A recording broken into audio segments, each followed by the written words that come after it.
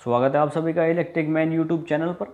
दोस्तों, अगर आपको घर में एक्सटेंडेड बोर्ड की आवश्यकता पड़ रही है और आप उसे घर पर ही बनाना चाहते हैं तो बहुत ही इजी कनेक्शन बताऊँगा आज आपको। दोस्तों, आप बाज़ार से ये सामान अगर ख़रीद के ले आते हैं तो इसको असेंबल करना तो आपके लिए आसान ही होता है। कोई भी इसको असेंबल कर लेगा, लेकिन कई बार ऐसा होता है कि बहुत से भाई इसके कनेक्शन में फंस जाते हैं और कनेक्शन नहीं कर पाते हैं। दोस्तों, बहुत ही ईजी कनेक्शन बताऊँगा।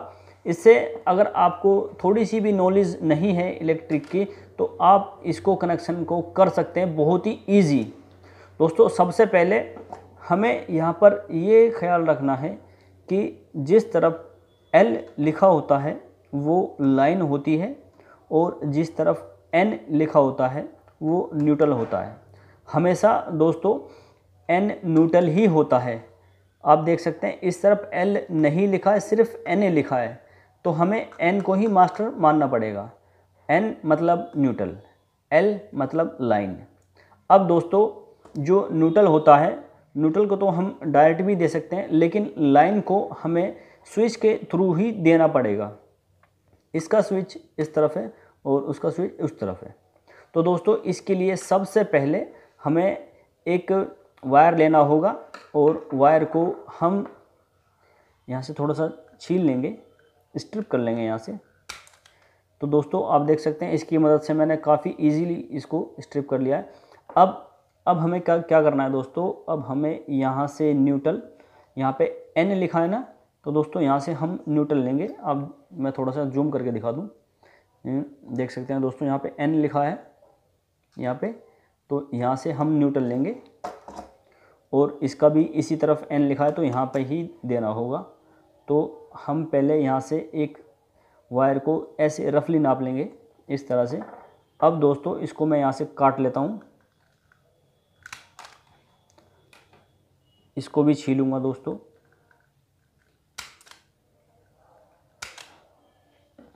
अब दोस्तों, जिसमें से मैंने ये काटा था मतलब जो मुझे न्यूट्रल जोड़ना है, मैं उसको छील लूँगा यहाँ पे। आप देख सकते हैं दोस्तों, मैं इसको बड़े ही इजी छील कर इस तरह से। दोस्तों, ये ज़रूरी नहीं कि आप न्यूट्रल इसी तरफ़ से लें या इसी तरफ़ से, आप किसी भी तरफ़ इसमें जोड़ सकते हैं। वो आपकी इच्छा होगी कि आपको जोड़ना किस तरफ़ है। जिस तरफ़ आपको सहूलियत लगे, आप उस तरफ़ जोड़ सकते हैं। मैं इस तरफ़ जोड़ रहा हूँ। यहाँ पे इजी मैंने इसको इस तरह से टाइट कर दिया है। अब दोस्तों, यहाँ पे जो दूसरा तार था जो मैंने पहले ही नापा था, अब उसको इस तरफ़ यहाँ पर लगा देना है। थोड़ा सा दोस्तों इसको घुमा लेंगे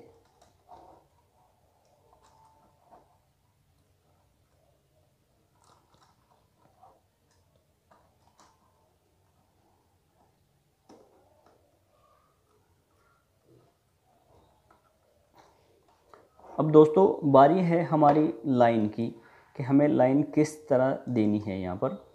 तो हम सबसे पहले यहाँ पर एक वायर यहाँ से पहले नाप लेंगे इसको। लगभग इतना हमें वायर काट लेना है।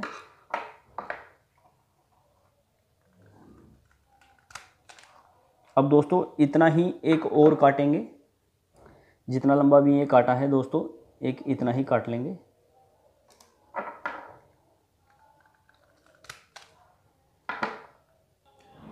अब मैं इन दोनों वायर्स को छीन लेता हूँ दोस्तों।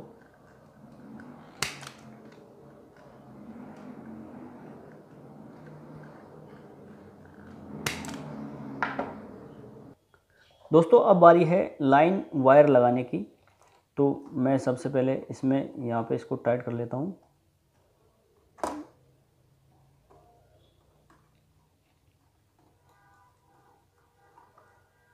अब दोस्तों, यहाँ से इसमें यहाँ पर टाइट करना है तो थोड़ा सा इसको इस तरह से बैंड कर लेंगे और बैंड करने के बाद दोस्तों इसको घुमाना आवश्यक होता है ताकि वायर एक जगह बंद जाएँ इधर उधर ना फैलें।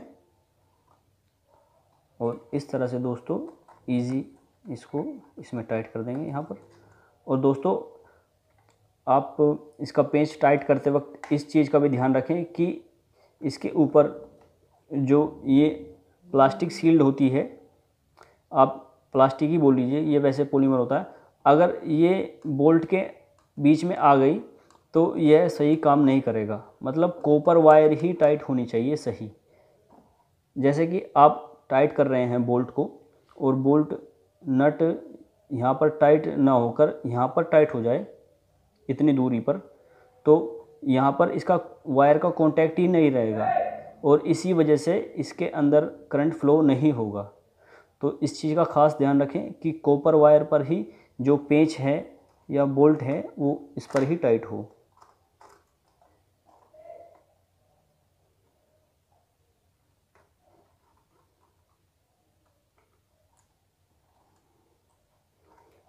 देखो दोस्तों, मैंने यहाँ पर एक गलती कर दी है, मैं उसके लिए माफ़ी चाहूँगा। मैंने पहले ही वायर को नाप लिया था। लेकिन मेरे से गलती ये हुई कि मुझे यहाँ तक, यहाँ से यहाँ लाना चाहिए था। तो मेरे से गलती होगी, उसके लिए मैं माफ़ी चाहता हूँ। मैं दोबारा इसको काट लेता हूँ, लेकिन इस बार मैं अच्छे से इसको नाप जोक करके काटूँगा। मैंने यहाँ से ये ध्यान नहीं दिया। इसको काट लिया थोड़ा सा लंबा कटेगा ये। इसको काट के छील लेता हूँ जल्दी से।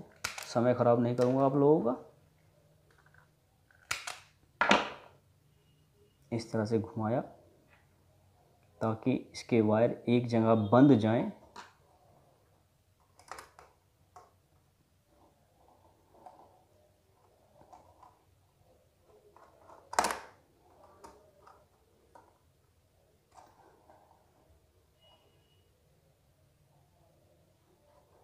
और दोस्तों, जैसा कि मैंने आपको बताया था कि ये लाइन में ही जाएगा।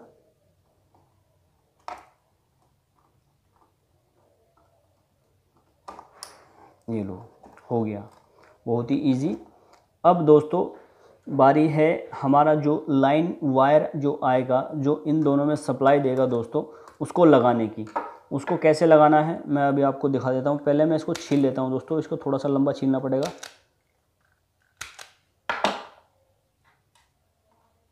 इतना लंबा छीलना है कि दोनों में ये इजी फिट हो जाए।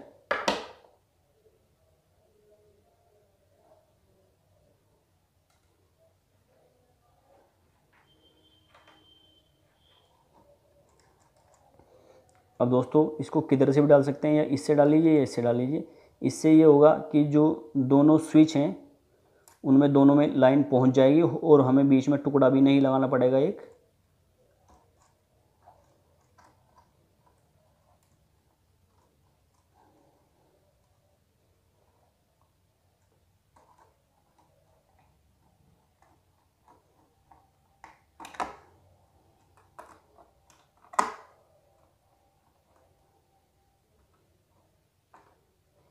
अब देख सकते हैं दोस्तों, यहाँ पर हमारा जो लाइन का वायर है, वो भी जुड़ चुका है।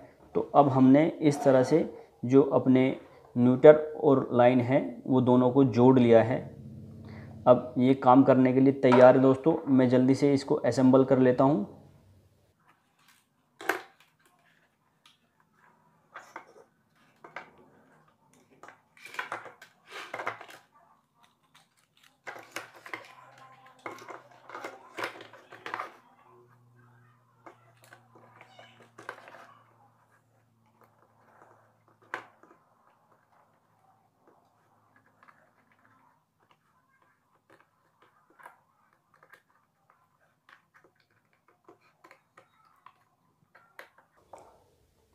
दोस्तों, वैसे तो मुझे अपने काम पर पूरा भरोसा है, लेकिन फिर भी एक बार मैं इसको चेक कर लेता हूँ कि कनेक्शन सही हुए हैं, इसके अंदर करंट फ्लो होगा या नहीं। सबसे पहले दोस्तों, मैं लाइन को ही चेक करूँगा।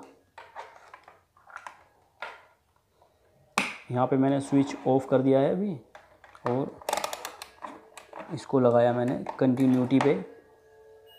कंटिन्यूटी पे ही चेक करूँगा दोस्तों। ये यहाँ पर लाइन है। और दोस्तों, इसकी लाइन इस तरफ़ है। और अब न्यूट्रल चेक कर लेंगे दोस्तों। इसका न्यूट्रल इस तरफ़ है। और ये लाइन है, लाइन चेक करता हूँ। नहीं आ रहा, नहीं आ रहा। अब दोस्तों, अब चेक करते हैं कि हमारा बोर्ड सही काम कर रहा है या नहीं। इसके लिए, दोस्तों, मैंने एक एक्सटेंडेड बोर्ड अपने लिए पहले ही बना रखा था। अब मैं इसको इसी तरह से इसमें लगा के चेक कर लेता हूँ।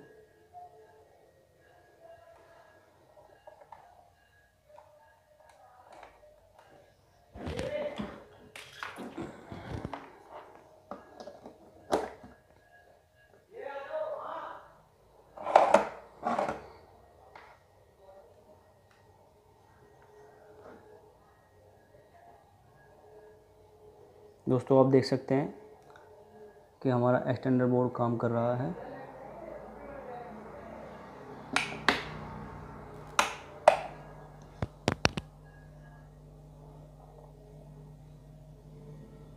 ये देखिए दोस्तों, आप देख सकते हैं चार्जिंग का निशान आ रहा है तो इसका मतलब ये सही काम कर रहा है।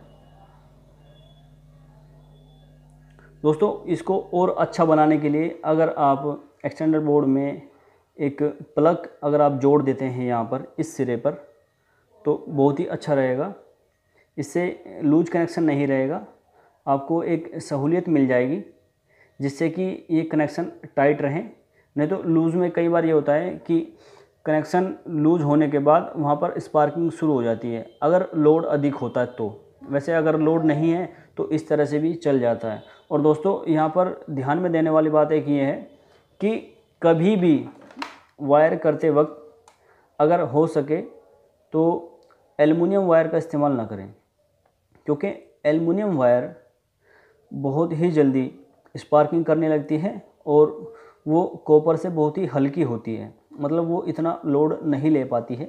तो दोस्तों, मैं आपको सजेशन यही दूँगा कि आप कॉपर वायर का ही इस्तेमाल करें। ये बहुत ही अच्छी होती है, बेस्ट होती है मतलब इलेक्ट्रिसिटी के लिए।